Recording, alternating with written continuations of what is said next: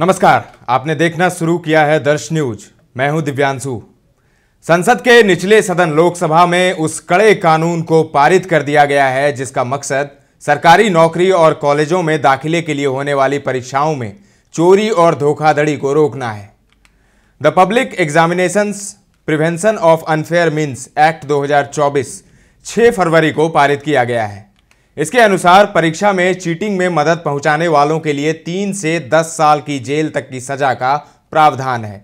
इतना ही नहीं, कसूरवार ठहराए गए व्यक्ति पर दस लाख रुपए से एक करोड़ रुपए तक का जुर्माना भी लगाया जा सकता है।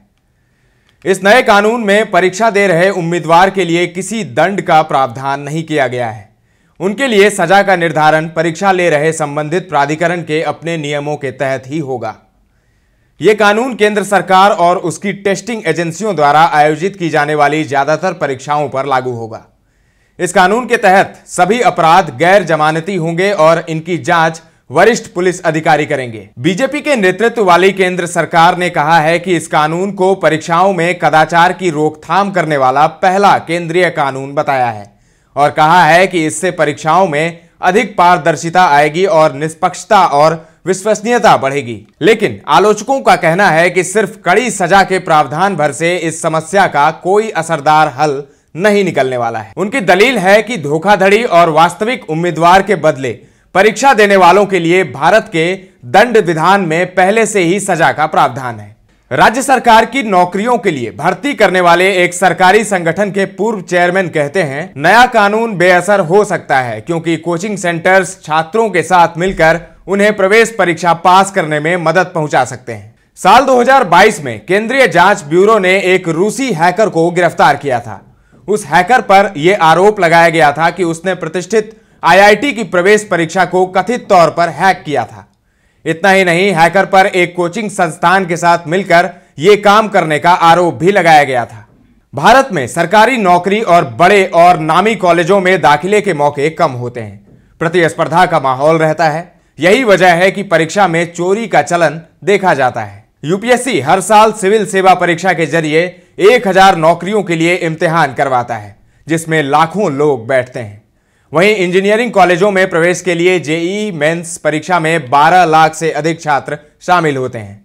हालाँकि नकल रोकने के लिए देश के कई राज्यों ने सख्त कानून बनाए हैं। राजस्थान ने 2022 में आंध्र प्रदेश ने उन्नीस और उत्तर प्रदेश ने उन्नीस में ऐसे ही कानून बनाए थे। पिछले साल गुजरात और उत्तराखंड ने भी नकल रोकने के लिए कड़े कानून पास किए हैं। लेकिन इन कानूनों के बावजूद राज्यों में नकल बदस्तूर जारी है। भारत में अक्सर पेपर लीक होने की खबरें आती रहती हैं। इसकी वजह से कई परीक्षाएँ रद्द करनी पड़ती हैं। इंडियन एक्सप्रेस की एक रिपोर्ट के अनुसार, बीते पाँच वर्षों में भारत के पंद्रह राज्यों में नौकरी के लिए होने वाली इकतालीस परीक्षाओं के पर्चे लीक हुए हैं। तो ऐसे में सवाल उठता है कि क्या नकल रोकने का हल सजा में बढ़ोतरी हो सकता है? क्या सजा बढ़ाने से नकल रुक जाएँगे? एक पूर्व आईपीएस अधिकारी हैं। उनका मानना है कि परीक्षा केंद्र पर सुरक्षा बढ़ाना सबसे अहम कदम है। उनका कहना है कि परीक्षा देने आए छात्रों पर डिजिटल टेक्नोलॉजी के ज़रिए सर्विलांस संभव है। ये एक कारगर तरीका हो सकता है।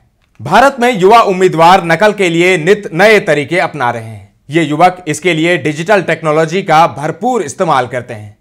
राजस्थान में कुछ छात्रों ने अपने चप्पलों में ब्लूटूथ डिवाइस लगाया था, जिसके ज़रिए परीक्षा हॉल के बाहर से लोग उन्हें जवाब बता रहे थे।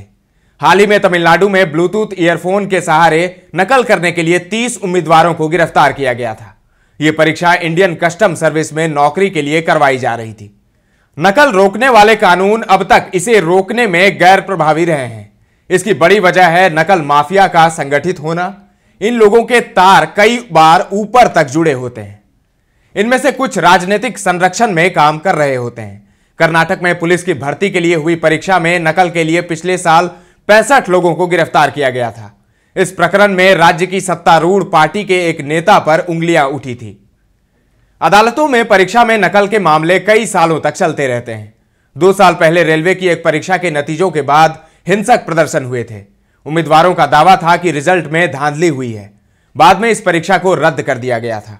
इस परीक्षा में सात लाख उम्मीदवार थे, जो पैंतीस हज़ार दो सौ पदों के लिए अप्लाई कर रहे थे। तो ये जो नया कानून बना है, इससे नकल करना मुश्किल नहीं हो रहा। ये सिर्फ़ नकल करते पकड़े जाने वालों को सख्त सजा का प्रावधान करता है। ताज़ा तरीन खबरों के लिए बने रहें दर्श न्यूज़ के साथ।